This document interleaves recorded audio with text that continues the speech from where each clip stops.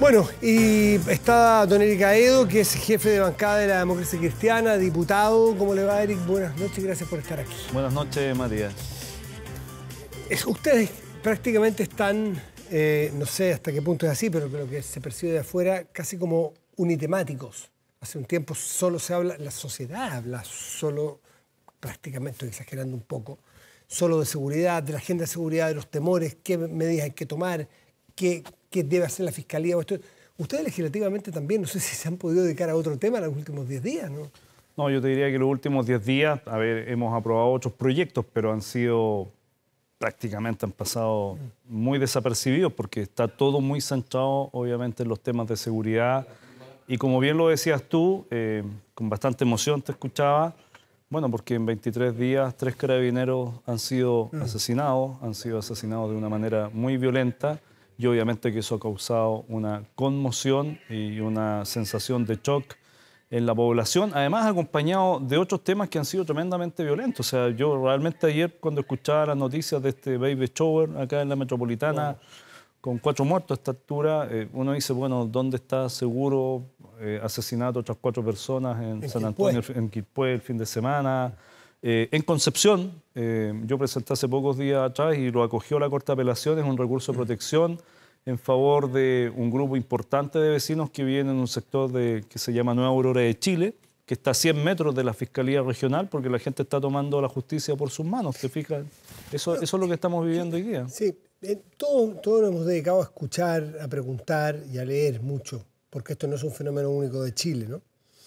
Y, una de las cosas que llama la atención, y eso quizás le pone sentido de urgencia a ustedes, es que si una sociedad entiende o llega a la convicción de que sus policías, sus fiscalías, sus tribunales no operan y hay impunidad, el peligro está no solamente en que el, el delincuente va a seguir campeando, decir que bien, tengo el negocio asegurado, sino que la sociedad se va a armar y va a decir, bueno, si no me defiende una policía, como es en un Estado de Derecho o un tribunal, bueno, tendré que comprarme un arma yo.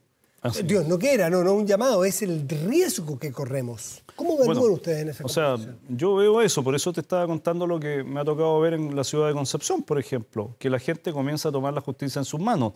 Ahora, no todo el mundo se puede comprar un arma, entonces, ¿qué hacen los vecinos?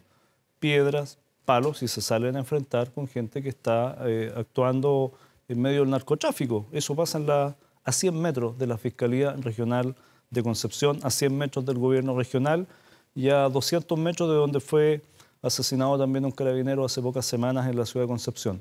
Entonces uno cuenta estas cosas no para generar un pánico, sino para decir que si la institucionalidad del Estado de Chile no reacciona, obviamente que el escenario que tú vislumbras va a suceder. Y permíteme, Matías, porque nosotros nos conocimos en este programa hace ya un, año, cuando yo planteé los mm. temas de robo de madera, mira, mira, lo, mira lo que salió a la luz pública. Y la gente estaba tomando la justicia también y las armas en sus manos en la zona de Arauco. Entonces, cuando el Estado sí reacciona, entonces tú transmites más seguridad. Qué bueno, porque recuerdo exactamente el día que yo no lo conocía, fue le dije que gusto conocerlo, y me habló mucho del robo de madera de ese tiempo ahora hay una ley. Entre Las leyes no lo solucionan todo. pero ayudan. pero por Dios que pueden ayudar. ¿Qué ha pasado? ¿Cuál es la realidad de esa radiografía que usted nos compartía hace un año y hoy con esta ley que fue tan discutida en un momento, pero ya está, está aprobada y funcionando? Bueno, primero logramos establecer, yo diría, en la agenda pública del país que estábamos frente a un crimen organizado, que movía 100 millones de dólares, que se robaba al año el equivalente a 72 parques OJI, para contarlo acá en la mm, región metropolitana. De superficie, claro. De superficie, más de 5.000 hectáreas robadas al año, que contrataba entre 400 a 600 personas armadas, las financiaba este robo de madera para proteger ese negocio ilegal. Y obviamente lo que ha habido hoy día con los estados de excepción, con la ley de robo de madera, es desbaratar este crimen organizado que opera en Arauco y en la Araucanía. Y en eso se han ido apresando personas como el famoso mentolato en la zona de Arauco, pero también algunos eh, forestales o algunos empresarios forestales que obviamente hacían de este crimen organizado una forma de negocio bastante lucrativa. Yo creo que ha habido avances ha habido avances de la justicia con la aplicación de la ley que tipifica el robo de madera. ¿Cómo ha disminuido. ¿Cómo lo contabilizan? ¿Cómo lo contabilizamos? Primero que hubo un, un, pic muy alto entre el año 2019 y el año 2022, que fue en los periodos más fuertes también entre estallido social y el tema de, ¿no es cierto? de la pandemia, que se multiplicó por cinco. No solo el robo de madera de 20 millones de dólares a 100 millones de dólares, sino que también el número de atentados. Hoy día, a partir de la aplicación de esta ley, eh, ha bajado, yo diría, un tercio los delitos violentos, los enfrentamientos y la quema de camiones. Ahora, eso se ha acrecentado, sí, y por eso el crimen organizado se mueve. Más bien en la zona de la Araucanía hoy día, Victoria, eh, Curacautín, ahí tenemos hechos de violencia y también hacia la región de los ríos, principalmente en la zona de Lanco. Y por eso eh, uno cuando aprieta, ah, voy a ocupar este término, en un lugar, uno también la, las fuerzas de seguridad, pero también los tribunales y las fiscalías tienen que estar atentos que el crimen organizado se mueve en el territorio. No es estático, busca dónde mm. ir. Déjeme preguntarle luego al fiscal, porque sé que se reunió con el fiscal nacional. Así que déjeme un segundito, usted me recuerda si se me va, pero déjeme seguir un segundo en el hilo del robo de madera. ¿Qué es lo que dice básicamente esa ley para entender por qué ha logrado tener los efectos que dicen que ha tenido? Ah, bueno, primero porque con la ley que existía anteriormente, digamos, eh, robar madera primero no era un delito, era una simple falta que estaba sancionada con 5 UTM. 5 UTM, estamos hablando de 250 mil pesos de, de, pago de una multa. Se planteaba como un hurto en el mejor de los casos. En cambio, hoy día, cuando tú robas madera, no solo el que roba, transporta, corta, sino que también el cerebro que está atrás arriesga penas de cárcel de hasta 20 años. Y eso obviamente que es un cambio fundamental con lo que teníamos antes, que era, ¿no es cierto?, 5 UTM de sanción. Y por tanto... ¿Y el que compra esa madera robada? El que compra también tiene la misma sanción, muy alta, de 5 hasta 20 años. O sea, esto creció exponencialmente, digamos, las penas. Y lo otro que la tipificación de robo de madera te permite utilizar eh, elementos de investigación mucho más precisos, desde, por ejemplo, la delación compensada, eh, la escucha telefónica, esas cosas no estaban antes, solo estaba en el delito de narcotráfico. Mm. Entonces, eso también da cuenta, Matías, que tú necesitas hoy día, por ejemplo, avanzar en una ley de inteligencia para enfrentar este otro tipo de crimen organizado. Yo he hablado acá de la madera, pero narcotráfico, trata de personas, que es lo que sucede en el norte, el robo del cobre en el norte, que es también un negocio millonario, tú necesitas también una ley de inteligencia de mucho más calidad porque hoy día están los medios electrónicos, por ejemplo, para hacer hmm. seguimiento. Vamos ahora al tema del fiscal nacional. Sé que usted se reunió con el fiscal eh, nacional a mediodía, o pasado mediodía, y, usted dice recién esto es como un, no lo dijo así, pero como un globo que usted aprieta aquí y el aire se va acá. Si usted aprieta acá, es decir, la necesidad es apretar parejo en las dos partes eventualmente o pinchar este globo de la delincuencia. Eh, apretan una parte esta ley en Arauco se va a la Araucanía o se va a la región de los ríos. Claro, y hay otra fiscalía, y a lo mejor la fiscalía de esta no está conectada con esta otra, y bueno, por Ron y cuenta nueva, puedo empezar a delinquir acá, me cambio, y, los fiscales no me persiguen. Entiendo que hay una moción, lo habrá hablado con el fiscal o no, para poder unir, para poder interconectar fiscalías y hacer persecución en todo el territorio. Así es, bueno, eso tiene que ver con los fiscales especiales, eh, que tengan potestad y jurisdicción sobre todo el territorio o sobre el marco de una investigación mm. más allá del territorio donde ésta se está desarrollando. Creo que esa es una línea. Una segunda línea es lo que acaba de hacer hoy día el fiscal nacional, que me parece que es una línea correcta, que es darle instrucción no solo a los fiscales de la región metropolitana, por ejemplo, para pedir la prisión preventiva a quien sea un inmigrante ilegal que no esté registrado en el país, que no tenga su documentación al día, para pedir la prisión preventiva. Y eso, si es que cometió un delito. Si es que cometió un delito.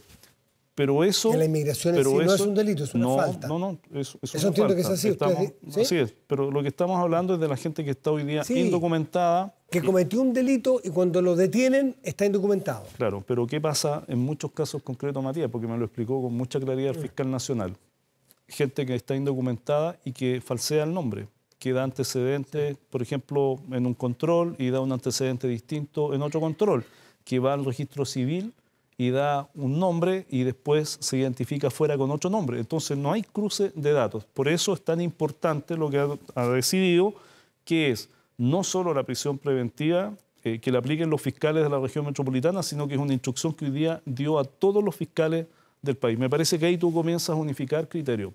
Y otra cosa que me comentó hoy día y nos pidió ayuda, y nosotros la, la asumimos como bancada de la democracia cristiana, es que nos dijo algo que realmente también me sorprendió, yo lo quiero compartir con ustedes esta noche. Nos dijo, mira, nosotros hoy día de los registros que tiene el registro civil respecto de los extranjeros, no nos entregan esos antecedentes, porque la ley no obliga al registro civil a entregárselo a la fiscalía. Entonces hay uno cuando dice, a ver, hay algo que no funciona en este Estado. ¿Por Estamos qué en la este nivel de- de inconexión? Estamos en la era del GPT chat, de la inteligencia artificial. Pero yo por eso lo quiero instituciones del Estado no porque- comparten los datos. Bueno, por eso yo lo estoy diciendo y, y esa petición la hizo muy directa hoy día el fiscal nacional y nosotros vamos a poner a trabajar a nuestro equipo legislativo, obviamente con los equipos de la fiscalía, porque mira, acá no se trata de una competencia entre el Parlamento, la fiscalía o los tribunales u otro eh, poder del Estado. Aquí lo que se trata es que aunemos fuerzas para dar una respuesta mucho más global, por ejemplo, teniendo el registro de cada uno de los extranjeros que llegan al país o inmigrantes. Porque además se produce una situación muy injusta. Cada uno de nosotros en Chile, cuando nace, hoy día cualquier bebé, tú vas y lo inscribes en el registro civil y por tanto quedas con un número, ¿no es cierto? Un RUT. Y están tus antecedentes. Bueno, eso no sucede hoy día con los extranjeros y con los indocumentados. Entonces, Perdón, hay, un, hay agujero negro enorme. cuando entra un indocumentado, muchos de ellos se van a autodenunciar porque estamos hablando de que una gran cantidad, probablemente la gran mayoría de quienes entran, es porque no han podido entrar regularmente. No es que sean todos sinvergüenza. Así es. Gente de bien, gente que está desesperada porque en su país pasa Sí, sí, hambre. no, no, no, no, pensemos Entra- en, eso, en mala de ellos, sino entra de manera pensemos- irregular. Muchos de ellos se van a denu- autodenunciar estando dentro del territorio para regularizarse. ¿A todas esas personas se les enrola y están en el registro civil? Están, pero como no hay una ley que obliga al registro civil a entregar esos antecedentes a la fiscalía, entonces no se los entregan. Y por tanto nos encontramos con este tipo de situaciones, como la que tú estás viendo con uno de estos detenidos, ¿no es cierto? Eh, que fue detenido en Concepción, que dio un nombre distinto allá, que después desaparece del sistema porque no queda enrolado y la fiscalía no puede acceder a esos temas. Y puede ser que haya una persona, por ejemplo, un, un delincuente, quiero decir direct- directamente, que entra a este país irregularmente con la intención de delinquir y que vaya a enrolarse con distintos nombres, le Sí, dijo el fiscal. claro que sí. O sea, yo aquí me llamo Juan y aquí me llamo Pedro. Sí, sí.